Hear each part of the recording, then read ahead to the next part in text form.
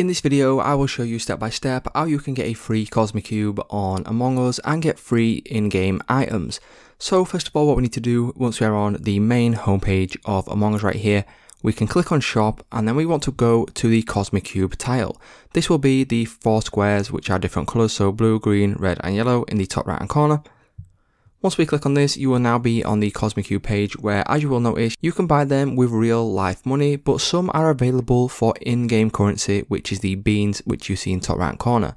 If you scroll down, you will see the Snack Cosmicube and also the Polar's Cosmicube, which you can buy with the in-game currency. So you don't have to pay real money to actually get these. You can click on these, click on the money to spend your beans on the Cosmicube, and then you will then be able to start working through these as you would usually.